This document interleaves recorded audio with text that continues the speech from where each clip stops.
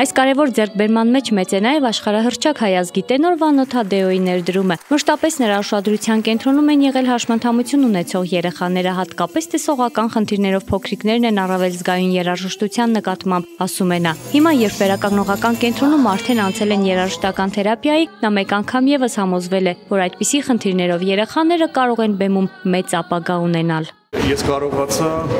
ընտրել երեխաների, որոնց մեջ ես տեսնում եմ ինչպես է զարթնում այդ երաշտական թերապիայի արդյունքը, որը ուղղակիորեն կրթում է իրենց, կրթում է իրենց հոգեբանությունը եւ աշճանաբար